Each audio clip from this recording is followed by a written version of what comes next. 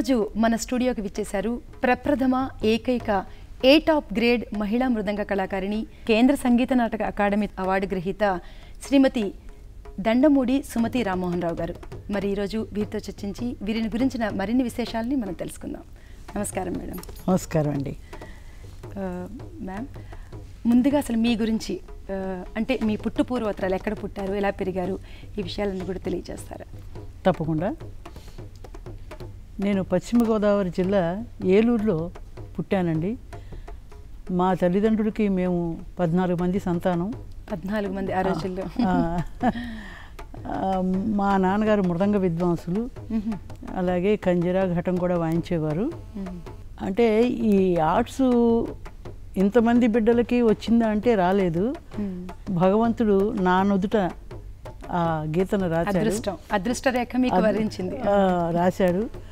మా తండ్రి గారు అది నేను ఆడపిల్లనా మగపిల్లనా అనే ఆలోచన కూడా ఆయనకి లేకుండా మరి నాకు ఆ పురుషవాద్యాన్ని.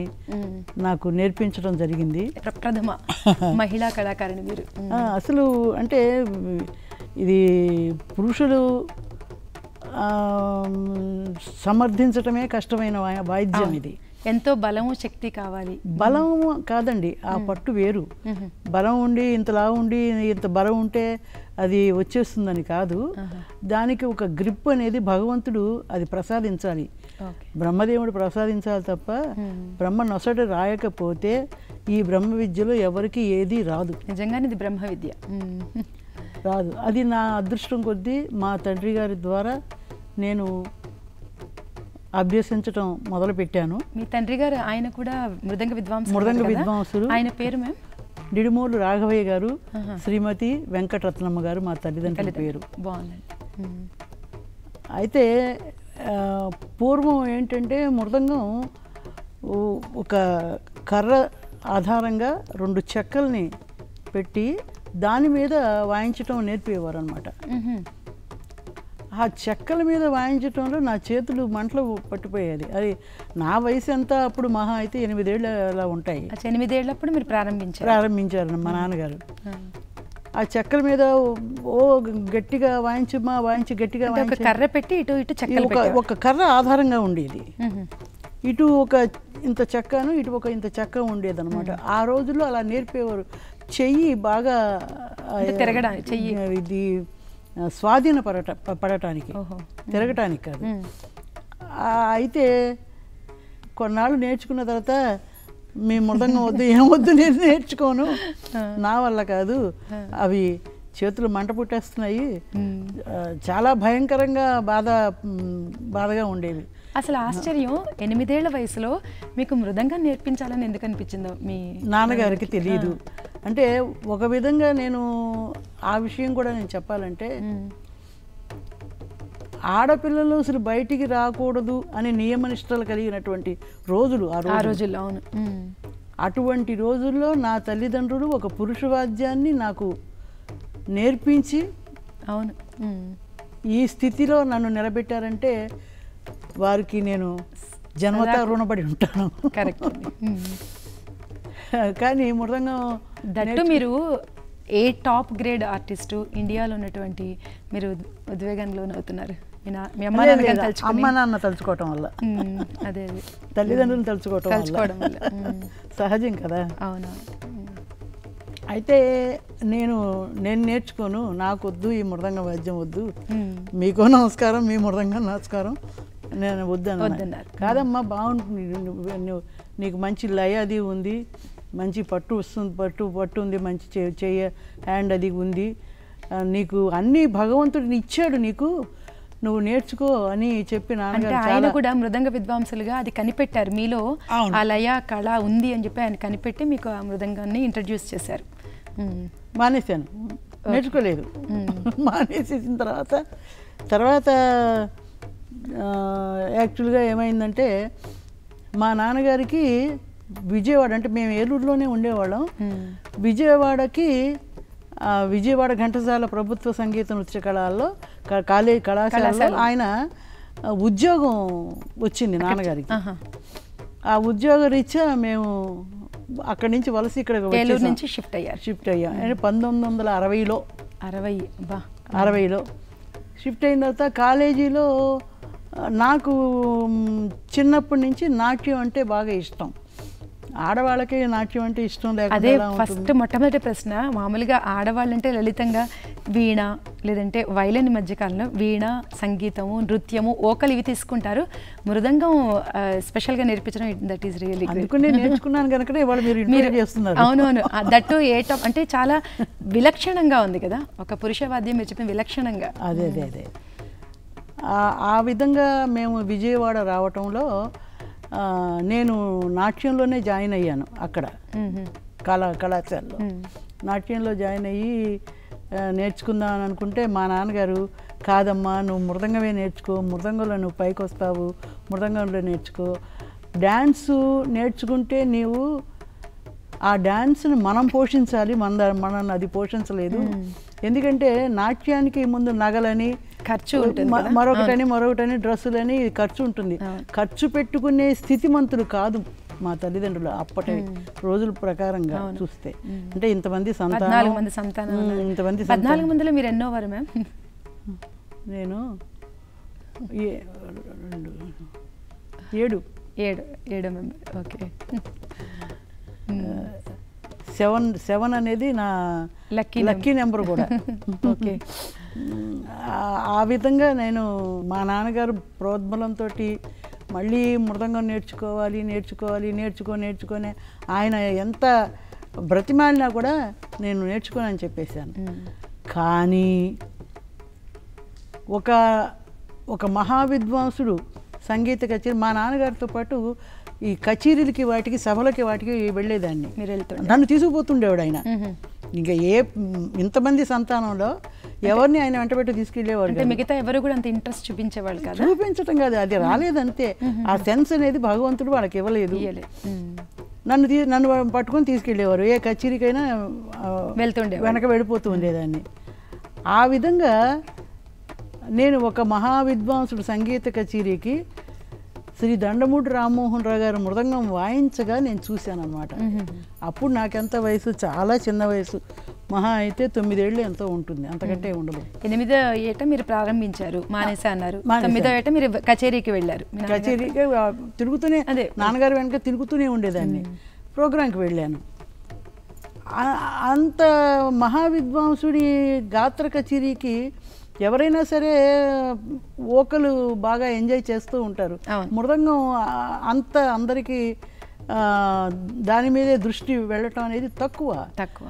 కానీ గౌరవనీయులు శ్రీ రామ్మోహన్ రావు గారు మృదంగం వాయిస్తున్నారు ఆ కచేరీకి. వాయిస్తుంటే అబ్బో ఏమిటి ఏమిటి మృదంగం ఏమిటి ఇంత ఇంత మధురంగా ఉంది. అద్భుతంగా ఉందనుకున్నారు. ఇంత లాలిత్యంగా ఉంది ఇంత గంభీరంగా ఉంది.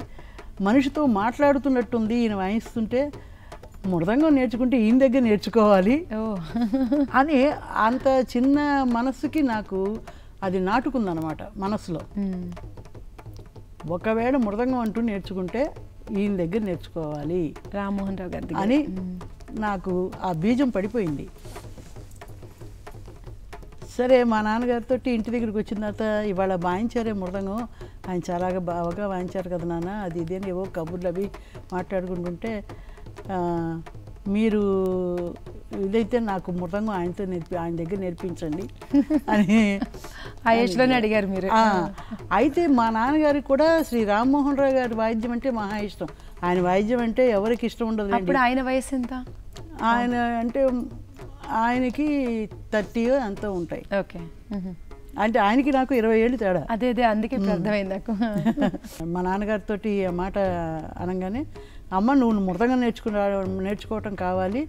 ఆయన దగ్గర అంటే నేను నేర్పించగలనా లేదా? ఆయన దగ్గరికి ఆయన దగ్గరికి వెళ్ళాలంటేనే ఎదురుగుండా నుంచోవాలంటేనే ఆ ఒక ప్రేమతో భయం కూడిన గౌరవంగా ఉండేవాళ్ళు. అప్పుడు వాళ్ళు. ఆర్టిస్టులు కళాకారులు. కళాకారులు అంటే ఆయన అంత గొప్ప వ్యక్తి. ఆయన నేను అడగగలనా లేదా?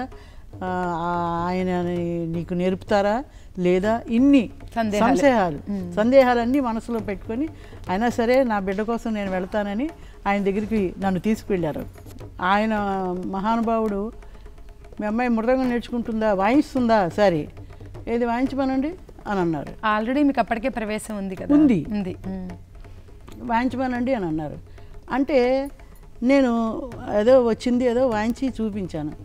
చూపిస్తే ఆయన ఒక్క నిమిషం కామ్ అయిపోయి నువ్వు బయటికి వెళ్ళి నుంచో అని అన్నారు. నన్ను.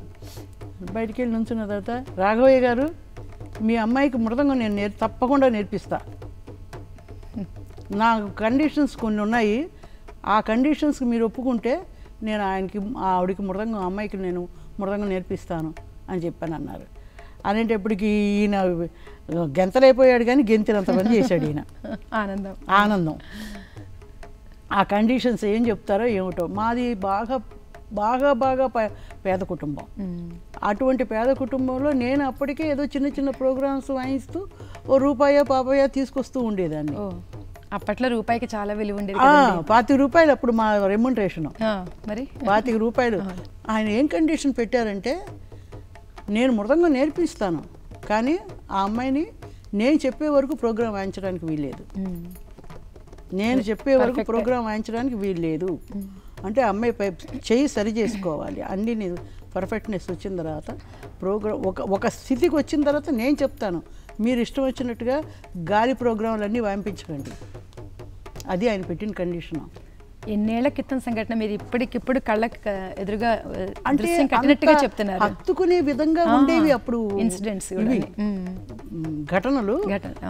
అప్పటికి అప్పుడు అవి అత్తుకొని ఇప్పటికీ మాకు ఇప్పుడు కొన్ని కొన్ని మీకు చెప్తాను. ఇంకా. అది మరీ ఆ హృదయానికి అతుక్కుపోయి ఉంటాయి అంతే. కొన్ని విషయాలు. అనగానే అలాగేనండి తప్పకుండా మీరు చెప్పినట్టుగా నేను తనని నేను ప్రోగ్రాం వాయింపించను అని చెప్పి ఆ రోజు మొదలుకొని మా నాన్నగారు ప్రోగ్రాం వాయింపించడం మానేసేస్తారు. ఓహో. అంటే అంటే ఎన్ని ఎన్ని త్యాగాలు ఎంతమంది చేస్తే నేను ఇక్కడ నిలబడ్డాను. అనేది మీకు నేను చెబుతున్నా. అవును మీరు అప్పట్లో ప్రోగ్రామ్స్ ఇచ్చి చిన్న చితకంతో కొంత. సంపాదించే వాళ్ళు అన్నారు కదా. అంటే తను ఎంత నా భవిష్యత్తు ఆలోచించి ఆయన ఆ నిర్ణయం తీసుకుని.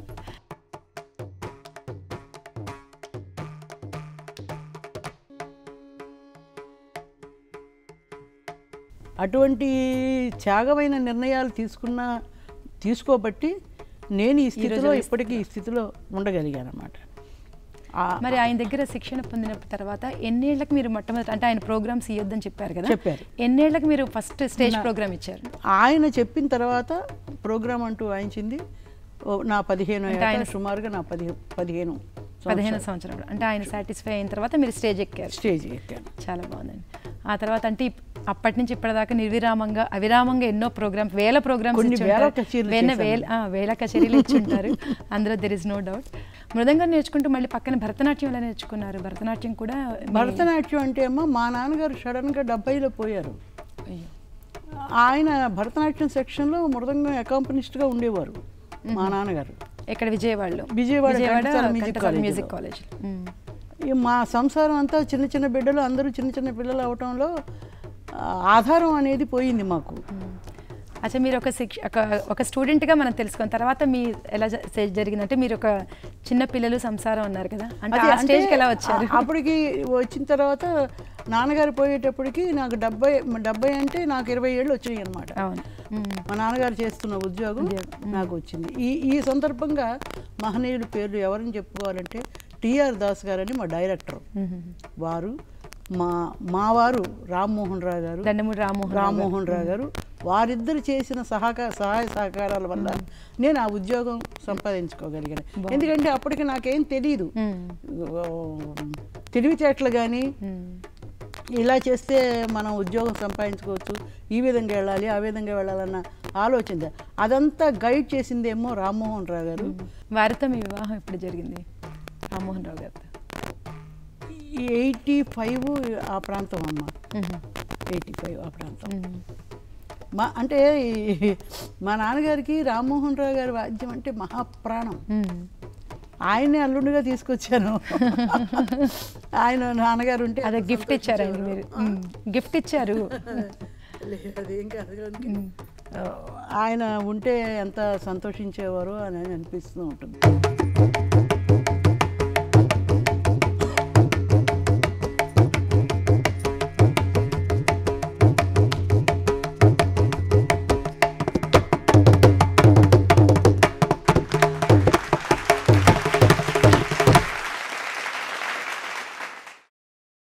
మీకు ఎంతమంది పిల్లలు? నాకు ఒక పాప. పాప. తను కూడా మృదంగం అది వాయిస్తున్నారు మృదంగం నేర్చుకుంది కానీ మేం కష్టపడినంత క- కష్టపడలేకపోతున్నారమ్మా ఇప్పుడు. చదువులు కానీ కానీ ఉద్యోగాలని కానీ పరుగులు. ఉరుకులు పరుగులు ఉరుకులు పరుగుల జీవితం అయిపోయింది. ఆ పరుగుల్లో విద్య కోసం కష్టపడి నిదానంగా ఇది చేసి ఇప్పుడు ఫైన్ ఆర్ట్స్ సంబంధించి ఎనీ ఆర్ట్ తీసుకున్న మృదంగం వైలన్ వీణ ఏది తీసుకున్నా కూడా కంటిన్యూ కనీసం రోజుకి ఏడెనిమిది గంటలు దాని మీద స్పెండ్ చేయాలి. చేస్తేనే అందులో సాధన సాధన. కరెక్ట్ అది గనక లేకపోతే మీకు ఏదీ రాణించదు. ఎంత డబ్బు పోసి ఎంత గొప్ప గురువు దగ్గరికి వెళ్ళినా ముందు సాధన చేయాలి. దాన్ని స్వాధీనం చేసుకోవాలి. నేర్చుకోవటం అంటే సామాన్యంగా వచ్చే విద్యలు కావు. భగవంతుడు ముందు నొసటన రాయాలి ఫస్ట్. ఆ నొసటన రాసింది మంచి గురువు దగ్గరికి వెళ్ళి నేర్చుకోవాలి. ఆ మంచి గురు గురువు దగ్గరికి వెళ్ళి నేర్చుకుంటే ఈ వీడికి కూడా ఒక సెన్స్ ఉంటే ఆ చెప్పిన పాఠం వీడికి వచ్చి బేసిక్ బీజం కరెక్ట్గా పడాలి. పడాలి. పడాలి. మీకు పాఠం రావాలి. ఆ పాఠం చూ చూడకుండా చెప్పాలి. తా తాళం వేసి చెప్పాలి. తాళం వేసి చెప్పిన తర్వాత మృదంగం మీద వాయించాలి. మృదంగం మీద వాయించిన తర్వాత మీరు తాళం వేస్తుండగా నేను వాయించగలగాలి. అది స్టేజి మీదకి ఎక్కి నలుగురిలో వాయించాలి. ఈ ఈ స్టెప్ బై స్టెప్స్ అన్నీ దాటుకుంటూ వెళ్ళి వెళ్ళటం అంటే మజాక మాత్రం కాదు. అవును? మజాక్. మీరు రోజుకి ఎన్ని గంటలు సాధన చేసేవాళ్ళు ఆ సమయంలో? ఆ ఏజ్లో మీ ఆ ఏజ్లో మాత్రం నేను నాలుగైదు గంటలు సాధకం చేశాను. చేశాను. ఎప్పుడు కూడా మా నాన్నగారు మృదంగం మృదంగం మృదంగం మృదంగం మృదంగం వాయించుకో మృదంగం వాయించుకో మృదంగం వాయించుకో. అంటే ఆయన కూడా మృదంగ విద్వాంసులే కదా? అవును. అనేవారు ఆయన తనతో పాటు కూర్చోబెట్టుకుని మీతో ప్రాక్టీస్ చేయించేవాళ్ళ? చేయించనివ్వలేదు మా మా అలా. ఎప్పుడు చేయలేదు. మా- హస్బెండ్ చేయించేవాళ్ళు. ఎవరు మీరు ఇంట్లో పాఠం చెప్పకండి. అని అన్నారు. ఎందుకంటే తేడా వస్తుందని. అవునవును. గురువుకి గురువుకి కూడా తేడా. తేడా వస్తుందని. అటు ఇటు కాకుండా అయిపోతానని. అవునవును. చెప్పొద్దు. మీరు పాఠం చెప్పొద్దు. ప్రోగ్రాంకి పంపించొద్దు. నేను చూసుకుంటా. తనకు వస్తుంది. నేను చూసుకుంటా. అంటే మీ తర్వాత అంటే ఈ రామ్మోహన్ రావు గారి దగ్గర చేరిన తర్వాత ఇంకే ఎవరి దగ్గర మళ్ళీ మీరు వెళ్ళింది లేదు లేదు. జనరల్గా అందరికి ఎలా ఉంటుంది అంటే ఒకళ్ళ గురువులు మారుతూ ఉంటారు కదా step by step stage by stage గురువులు మార్చకూడదు. అంటే ఒక్కోసారి విధివశాత్తు దురదృష్టవశాత్తు ఎక్కడెక్కడ షిఫ్ట్ అయినప్పుడు అలా అవుతూ ఉంటుంది కదా బట్ మీ అదృష్టం ఏంటంటే ఫస్ట్ అండ్ లాస్ట్ ఆయన అయ్యారు చాలా బాగుంది ఫస్ట్ నాన్నగారు తర్వాత నేను మ్యూజిక్ కాలేజీలో కూడా మృదంగానికి జాయిన్ అయ్యానమ్మా. మ్యూజిక్ కాలేజీలో కూడా మృదంగానికి జాయిన్ అవటం జరిగింది. అక్కడ కాలేజ్లో అడ్మిషన్. తీసుకున్నారు. ఓకే. అక్కడ సర్టిఫికెట్ పాస్ అయ్యాను. ఘంటసాల మ్యూజిక్ కాలేజ్లో మ్మ్. పాస్ అయ్యాను. తర్వాత రామ్మోహన్ రావు గారి దగ్గర. మీరు అక్కడ ఆ కాలేజ్లోనే ప్రిన్సిపల్గా చేసి రిటైర్ అయ్యారు కదా?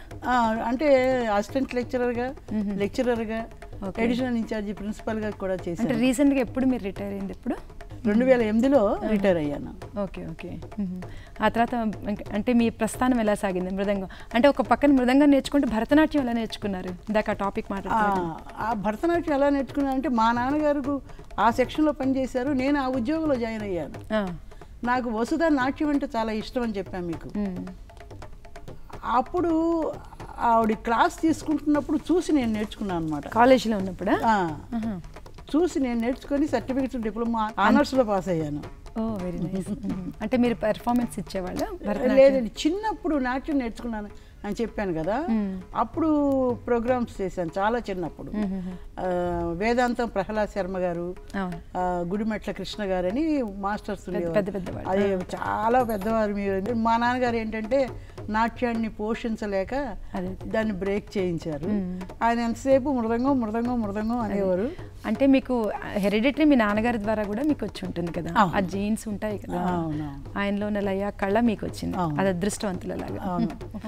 ఆ తర్వాత మీరు ఇంకా ఫర్దర్గా తర్వాత అంటే మీరు ఏమైనా అకాడమీ స్థాపించి పిల్లలకి అక్కడ శిక్షణ ఇప్పిస్తున్నారా? నేను మృదంగం నేర్చుకున్నందుకు గాను మృదంగం మీద ఉండే అభిమానం కానీ గౌరవం కానీ ఆ దీనికి నా వంతు సేవ చేయాలి అన్న ఉద్దేశంతో నాకు యాభై ఏళ్ళు నిన్న సందర్భంగా లయవేదిక అని ఒక సంస్థను స్థాపించాను. లయవేదిక. లయవేదిక. మా లైవాద్యాలే కదా. లయవేదిక అని ఒక సంస్థను స్థాపించి అందులో పిల్లలకి శిక్షణ పిల్లలకి శిక్షణ కాదమ్మా.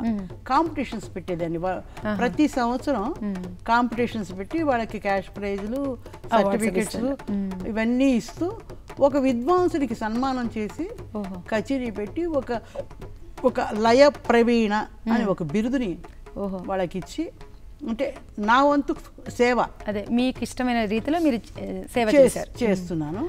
అంటే అది ఇప్పటికీ కొనసాగుతూ ఉందా? కొనసాగుతుంది. కానీ మా వారు రెండు వేల పదకొండులో కాలం చేశారు. ఆ- సందర్భంగా శ్రీ దండమూడి రామ్మోహన్ రావు లయ వేదిక అని మార్పించాను ఆ విధంగా రిజిస్ట్రేషన్ చేయించి. ఆ లయ లయ వేదిక ద్వారానే నేను ఆయన విగ్రహాన్ని. క్షేత్రేశం తుమ్మలపల్లి క్షేత్ర తిమ్మలపల్లి క్షేత్రీయ కళాక్షేత్రం. ఆ, అక్కడ వారి విగ్రహం కూడా పెట్టాను పెట్టాను. దండమూడి రామ్మోహన్ రావు గారి పేరున ఒక వీధి కూడా ఉంది కదండి విజయవాడలో? అవునండి. మేము నివసి- నివసించే అంటే ప్రాంతంలో. మా వీధి మాది మా వీధి పేరే శ్రీ దండమూడి రామ్మోహన్ రావు వీధి. అసలు ఎంత ఆశ్చర్యం ఏంటంటే అప్పటి రోజుల్లో కళాకారులకు ఎంత విలువ ఉంది? అంటే ప్రజలు కూడా గుర్తించి అంత ఇంపార్టెన్స్ ఇచ్చేవాళ్ళు. ఇప్పటికి ఇప్పుడు చూస్తుంటే ఇప్పుడు జనరేషన్ కూడా ఆర్టిస్టులు చాలా మంది చిన్న చిన్న చితగా మనం చూస్తుంటాం టీవీలో వాటిలో. సూపర్ సింగర్స్ వచ్చేవాళ్ళు చాలా మంచి మంచి ఆర్టిస్టులు ఉన్నారు. ఈవెన్ దెన్ అప్పుడున్నంత విలువ గౌరవం ఇప్పుడు లేదేమో అనిపిస్తుంది. అంటే ఇలా వస్తు పుట్టుకొస్తున్నారు ఇలా పోతున్నారు. ఈవెన్ అంటేనమ్మా గౌరవ మర్యాదలు తగ్గినాయనే నేను అనుకుంటున్నాను.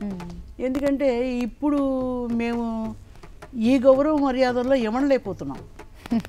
అదే. అంటే మీకు డిఫరెన్స్ అప్పటికి ఇప్పటికి తెలుస్తుంది తెలుస్తుంది. కదా. గురువు గారు ఏదన్నా ఒక పని చెప్పాలా? వారికి ఏదన్నా ఒక పని అవసరం అవుతుందా? అని అనుకుంటే అది నాకే చెప్పాలి అని అనుకునేవాళ్ళం మేము. అప్పట్లో. ఆయనకి ఏదైనా ఏదైనా మంచి కానీ పోనీ మంచినీళ్ళు కావాలి ఆయనకి. నేనే ఇవ్వాలి. అంటే ఒక రకమైన పొసెసివ్నెస్ అదొక చాలా. ప్రేమ. అసలు ఆ- ఆయనకి ఏ అవసరమైంది ఏదైనా సరే నేను చేయాలి అనే ఒక తాపత్రయం తపన ఉండేది. ఉండేది. ఇవాళ ఏంటంటే ఎవరన్నా గురువు గారు కానీ పెద్దవాళ్ళు ఎవరన్నా తెలిసిన వాళ్ళు ఉంటే వీడెక్కడ ఏ పని చెప్తాడరా నాయన పక్క నుంచి పడిపోతున్నారు. అంటే మీకు డిఫరెన్స్ బాగా తెలుస్తుంది అప్పటికి గత యాభై ఏళ్ళుగా మీరు ఈ ఫీల్డ్లో ఉన్నారు కదండి? యాభై ఐదు సంవత్సరాలుగా నేను ఈ ఫీల్డ్ ఈ ఉన్నారు. నాకు మీకు ఇప్పుడు డెబ్బై ఏళ్ళమ్మా.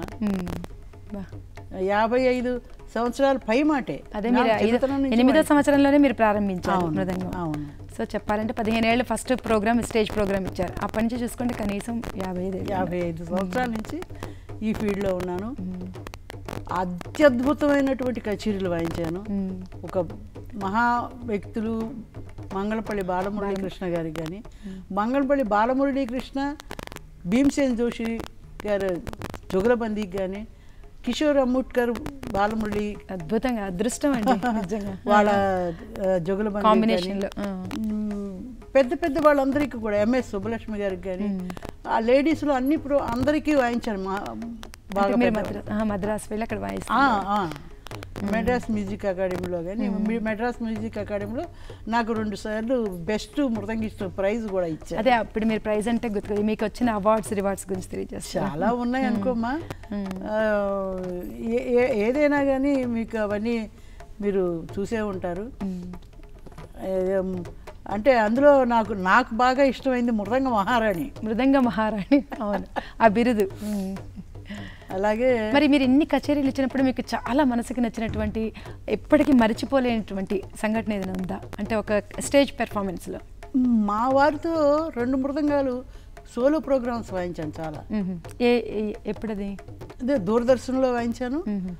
అలాగే పర్కుషన్ ఆర్ట్స్ అని బెంగళూరులో అలాగే విజయవాడలో కూడా అనేక కచేరీలు చాలా కచేరీలు మేము ఇద్దరం కలిసి వాయించాం. అంటే కలిసి వాయించడం వేరు. కొన్ని కొన్ని సంఘటనలు అలాగా చాలా ఇదిగా అనిపిస్తాయి కదా మనకి మర్చిపోలేని అన్ని ఆయనతో వాయించినవి అన్నీ కూడా ఉంటాయి. అన్నీ అలాగే బాలమురళి మహానుభావుడు కదా ఆయన బాలమురళి గారికి వాయించడం అనేది కూడా ఒక అదృష్టం. భీమసేన్ జోషి గారు. భీమసేన్ జోషి గారికి బాలమురళి గారికి నేను మృదంగం వాయించడం జరిగింది. అదే ఇది అది దూరదర్శన్లో కూడా ఉంది ఆ క్యాసెట్ ఓకే. ఆయన నాకును తబలా వాడికి ఛాన్స్ ఇచ్చారు. వాళ్ళు. పాడిన తర్వాత ఛాన్స్. ఇచ్చినప్పుడు అంటే నా అదృష్టం చెప్తున్నాను. బాలమురళి గారు ఇలా కూర్చున్నారు భీమసేన్ జోషి గారు అలా కూర్చున్నారు.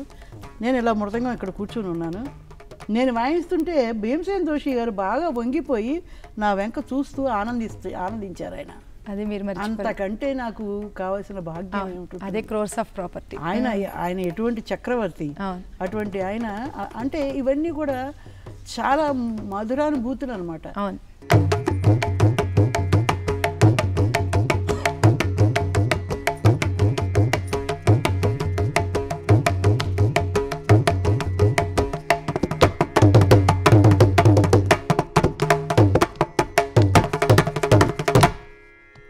అలాగే మా మా వారు ఈ సభ పెట్టానని చెప్పే కదా. రామ్మోహన్ రావు లయవేదిక. లయవేదిక ఈయన శివ సాన్నిధ్యం పొందిన తర్వాత ఆయనకి ఎయిటీ ఫైవ్ వచ్చిన జయంతి చేసి సంగీత ప్రపంచంలో ఇంతవరకు ఎవరు చేయనటువంటిది వంద మృదంగాలతోటి శతమృదంగ వాద్య నివాళి అని ఒక ప్రోగ్రాం చేశానమాట శతమృదంగ నివాళి. ఆయన అంటే శతమృదంగ వాద్య నివాళి. శతమృదంగ వాద్య నివాళి. వాద్య నివాళి. అది ఇంతవరకు సంగీత ప్రపంచంలో ఎవరు చేయలేదు. ఎప్పుడు మనం భరతనాట్యం కూచిపూడి డాన్సులు చూస్తుంటాము స- అవన్నీ చూస్తాం అది. మృదంగాలకి సంబంధించి మృదంగం మట్టుకు. వంద మృదంగాలతోటి ఒక ఒక అద్భుతమైన ప్రోగ్రాం చేసింది నేనే. మీరు ఏకైక మహిళగా మీరున్నారు.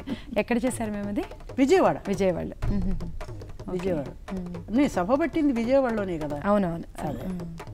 తర్వాత అంటే ఇప్పుడు మీ అమ్మాయి కూడా ఫైన్ ఆర్ట్స్లో ఉన్నారా?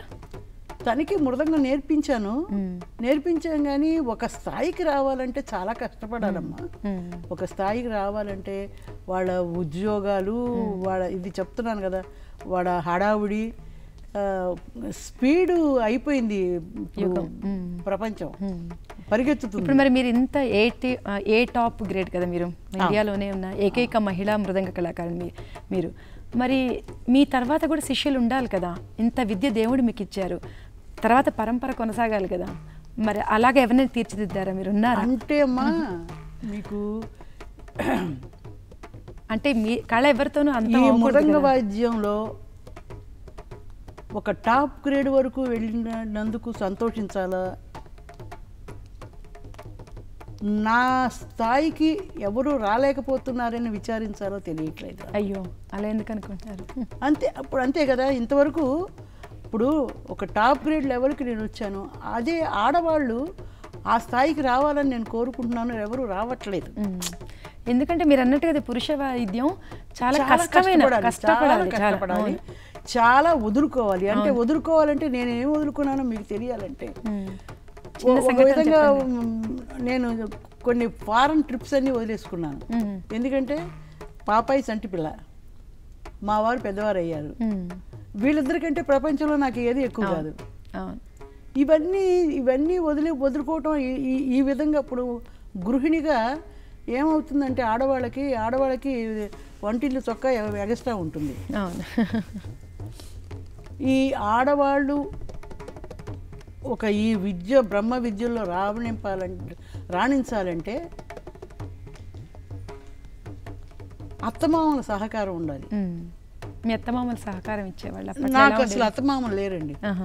ఓకే అంటే మీరు ఈ ఫీల్డ్ సహకారం ఉండాలి ఫస్ట్ ఫస్ట్ ఫస్ట్ ఏంటి నువ్వు దెబ్బడి దిబ్బడి ఏదో కొడుతున్నావు తీసి పక్కన పెట్టు ముందు ఇంట్లో పని చూడు అనేది కాకుండా భర్త సహకారం కావాలి. అత్తమామల సహకారం కావాలి. చుట్టుపక్కల వాళ్ళ సహకారం అవును. కావాలి ప్రత్యేకించి వాయిద్యం మనం ప్రాక్టీస్ చేసేటప్పుడు పక్క వాళ్ళు మళ్ళీ. డిస్టర్బెన్స్ అనుకోకూడదు. చుట్టుపక్కల వాళ్ళు. అసలు మనం ఏ రేంజ్లో ఉన్నామో పక్క వాళ్ళకి కూడా వాళ్ళకి అర్థం అవ్వాలి అవును. అది ఇవన్నీ కలిసి రావాలంటే మజాక కాదు. ఉమ్. అదే మనకి తమిళనాడులో అయితే మీకు చాలా ఆదరణ ఉంటుంది. ఆడపిల్లలు సంగీతం అంటే వాళ్ళకి ప్రాణం సంగీతము నృత్యము. ఆడపిల్లలు పాడుతున్నారు ఏదైనా వాయిస్తున్నారు అంటే వాళ్ళకి అత్తమామలు కాఫీ తీసుకొచ్చి ఇస్తారు ముందు. వాళ్ళు పాడుతుంటే వాళ్ళ వాళ్ళకి సేవ సేవ చేస్తారు అంటే ఆ ఆర్ట్కి ఉన్న విలువ వాళ్ళకి తెలుసు. అది. ఎక్కువ. అంటే మన తెలుగు వాళ్ళకంటే కూడా తప్పకుండా తమిళియన్స్. తప్పకుండా. ఎందుకంటే ఒక కళాకారునిగా మీరు ఇన్ని వివిధ ప్రదేశాలు తిరిగారు మీకు తెలుసు బాగా. అందుకని ఖచ్చితంగా మీరు చెప్తున్నారంటే నేను కూడా ఏకీభవిస్తున్నాను. ఆ- విధంగా నాకేంటంటే నాకు నా భర్తే నాకు మహారాజు. అవును. కనుక నాకు ఆయనే గురువు కాబట్టి మీ అదృష్టం. కాబట్టి మీకు ఎటువంటి అడ్డంకులు లేవు చెప్పాలంటే. కొన్ని అడ్డంకులు లేవు. కొన్ని పడటం అనేది సహజం తప్పదు. అది ఎవరికైనా ఏ ఫీల్డ్లో అయినా ఉంటుంది కదా? తప్పకుండా. ఫీల్డ్ తప్పకుండా ఉంటుంది. కష్ట సుఖాలు నవరసాలు లేకపోతే లైఫ్లో ఏమిటి మజా ఉండదు కదా? మజా ఉండదు.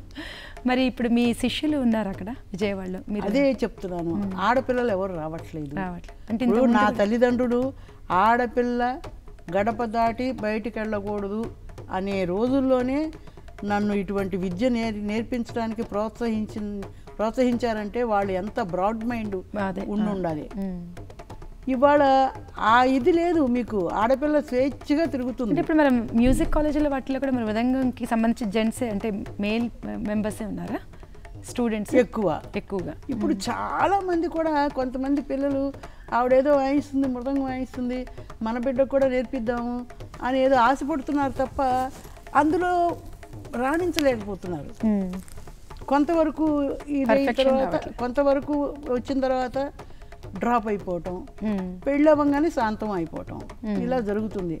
ఆడపిల్లలు రావట్లేదమ్మా. అది దానికి ఆ విధంగా ఆ విషయంలో మాత్రం నేను కొంచెం విచారణ బా- విచారం వ్యక్తం చేస్తున్నారు. వ్యక్తం చేస్తాను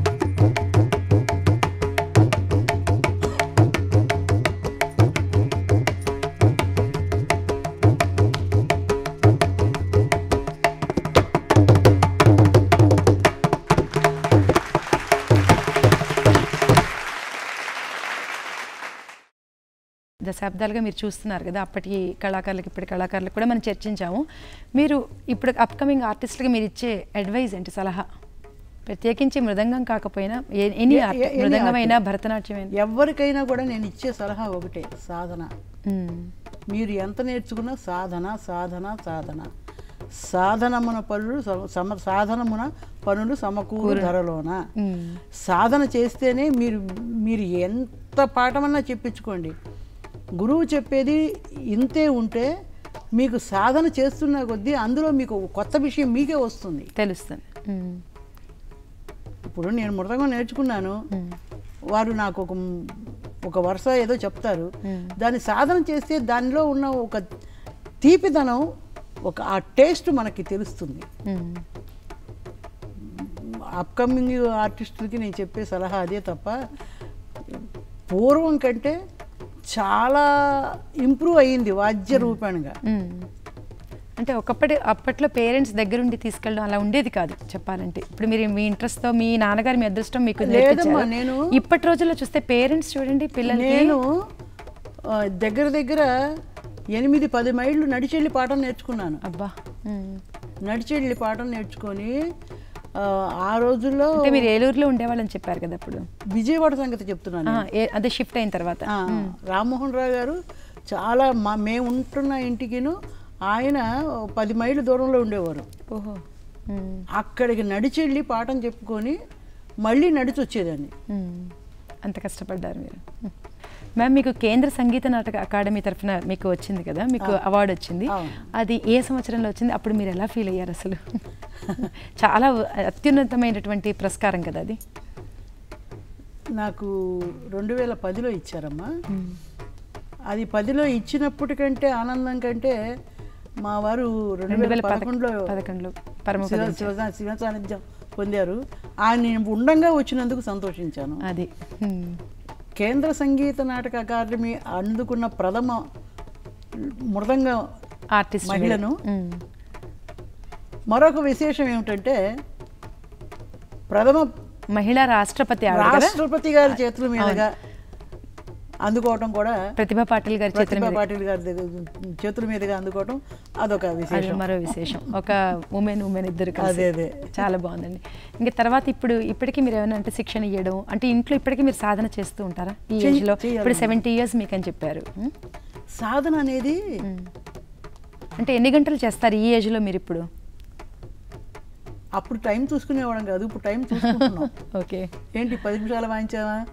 అరగంట వాయించామా ఎంతసేపు వాయించామా ఎంతసేపు సాధన చేసుకున్నాం సాధన అనేది దాని గురించి మా మా వారు ఒక మాట చెప్పేవారు. సచ్చేంత సాధకం చేయాలి. సచ్చే వరకు సాధకం చేయాలి. కరెక్ట్. సాధన అనేది అది. ఇప్పుడు మీరు ఈ ఏజ్లో కూడా ప్రోగ్రామ్స్ ఇస్తూ ఉంటారు ఇస్తున్నానమ్మా ఇస్తున్నాను. అక్కడ మీరు విజయవాడలో అంటే ఇప్పుడు పిల్లలకి చెప్పడం లేదన్నారు కదా? అంటే గర్ల్స్ రావట్లేదు వస్తే చెప్తాను. గర్ల్స్ రావట్లేదు అన్నారు కదా? రా- రావటం అంటే బాయ్స్ ఏమైపోతుందంటే ఈ చదువులు దీని మూలంగా వాళ్ళు ప్రెషర్స్ ఎక్కువ ఫీల్ అయిపోతున్నారు. ఇప్పుడు ఇది తెల్లారి ఎనిమిది అవ్వకుండానే స్కూల్స్ మొదలైపోతున్నాయి. సాయంత్రం ఏమో మళ్ళీ ట్యూషన్స్. ఇంకా వాళ్ళకి ఇంకా బాడీలో పెట్రోల్ ఏముంటుంది మీలో ఇంత విద్య ఉంది. తర్వాత ఫర్దర్గా ఈ విద్య పరంపర కొనసాగాలి కదా. ఇప్పుడు ఒక భగవంతుడు అందరికీ అన్నీ ఇవ్వడు. భగవంతుడు అందరికీ అన్నీ ఇవ్వడు. నాకు అది ఇవ్వలేదు అంతే. ఏం చేస్తాం? అయ్యో. మీరు మృదంగం ఏ టాప్ గ్రేడ్ కదండి. అంటే మీతో పాటు సమకాలీనులుగా ఇప్పుడు ఉన్నారు ఎవరైనా? ఎవరు లేరు. అంటే మహిళగా మీరు ఒక్కళ్ళే ఉన్నారు. మహిళ. మృదంగ కళాకారిణి మీరు ఒక్కళ్ళే నో డౌట్. అంటే మీకు చాలా నచ్చిన వాళ్ళు మృదంగ ఆర్టిస్టులు ఎవరున్నారు? ముఖే ముఖే సరస్వతి అండి. చాలామంది మహావిద్వాంసులు ఉంటారు. పేర్లు చెప్పడం అనేది నాకు ఇష్టం లేదు. ఒకటి రెండు పేర్లు చెప్తే మూడో వాడికి కోపం వస్తుంది. ఎంతోమంది విద్వాంసులు వాయిస్తుండగా వినటం వేరు నచ్చటం వేరు. మనసుకు నచ్చితేనే పరిపూర్ణంగా నచ్చింది అని చెప్పాలి. అంతేగాని మీకోసం మొహమాటంగా నేను చెప్పడం నాకు ఇష్టం లేదు. మ్యామ్ ఇప్పటి రోజుల్లో అంటే సంగీతంలో మృదంగం ఇంపార్టెన్స్ తగ్గిందని ఇందాకే మీరు చెప్పారు కదా.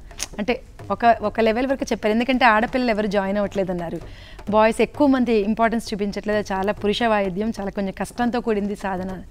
సో మీరేమంటే మృదంగ సంగీత సభల్లో వీటిల్లో మృదంగ ఇంపార్టెన్స్ తగ్గిందా లేదా ఉందంటారా? సంగీత కచేరీలో మృదంగ వాద్యం ప్రధానం. ప్రధానం. ఎందుకంటే రక్- రక్తి కలిగిన రక్తి కలిగిన ఇన్స్ట్రుమెంటు కచేరీకి రక్తి కట్ కట్టించేది మృదంగమే. అందువల్ల మృదంగానికి ప్రధానం తగ్గడానికి వీల్లేదు. తగ్గితే కచేరీ దెబ్బతింటుంది. ఓకే.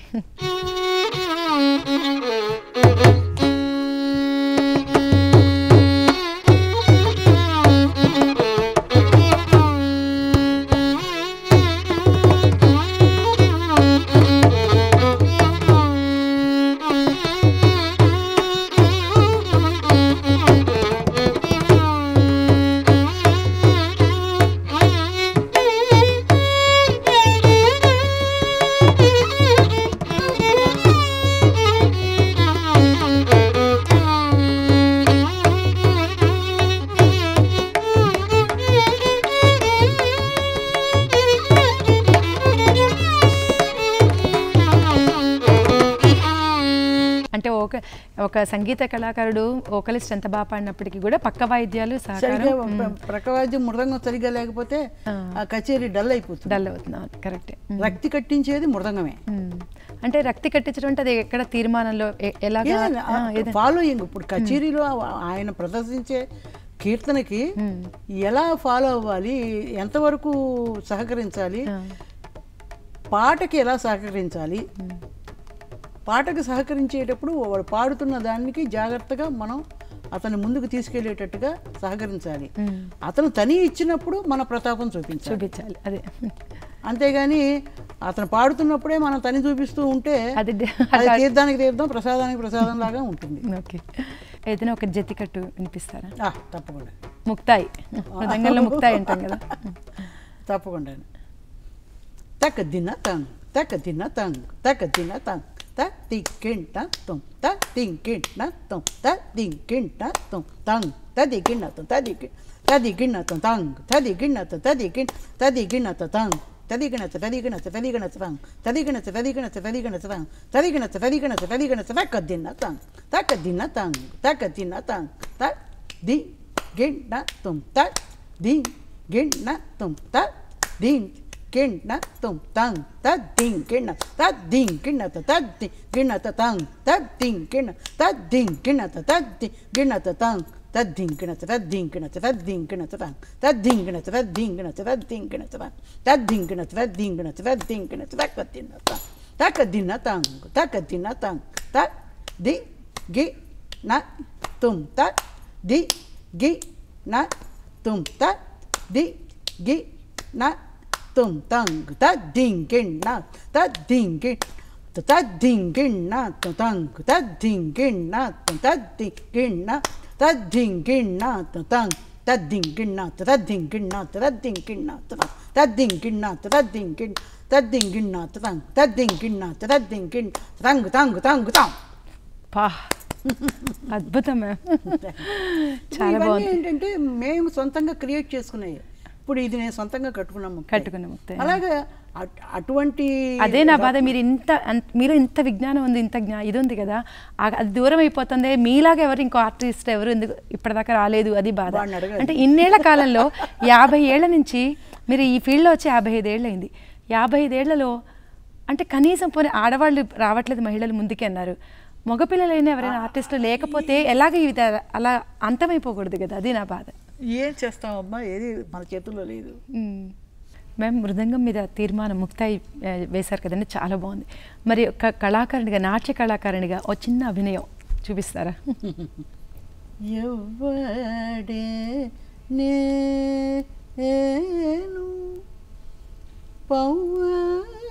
పవ్వళించిన వేళ పువ్వు బాణ మేసి రవ్వ చేసి పోయే ఎవ్వడే ఎవ్వడే ఓ భామ వాడెవ్వడే ఎవ్వడే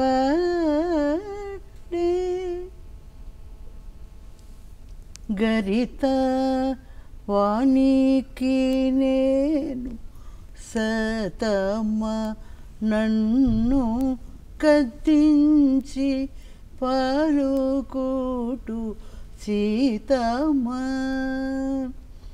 కరిత వానికి నేను సతమ నన్ను గద్దించి పలుకుటు సీతమ్మ పురుషుడు ఊరలేని ప్రొద్దుమాపటి వేళ పురుషుడు ఊరలేని ప్రొద్దుమాపటి వేళ సుద్దుల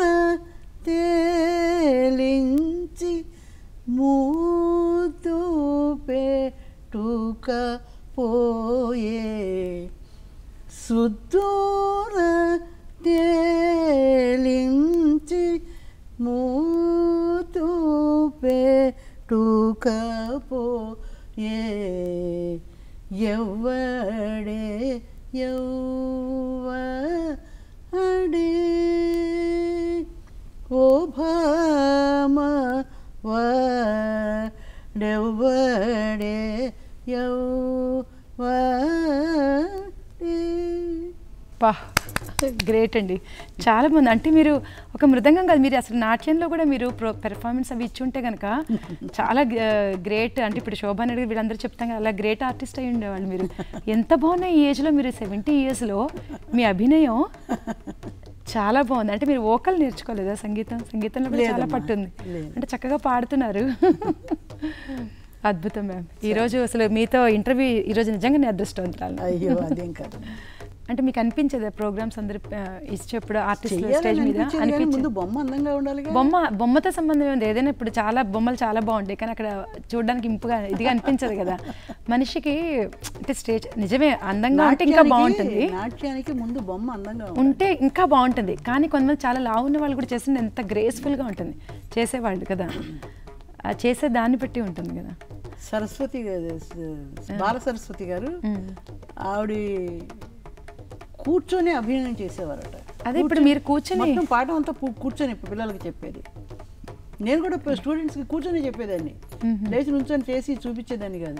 భావం మాత్రం నాకు చిరాకు వచ్చేది. ఎవరు భావం సరిగ్గా చేయరు. భావం అనేది మనం హ్యాండ్స్ అవి తిప్పినా తిప్పకపోయినా ఆ face ఫే-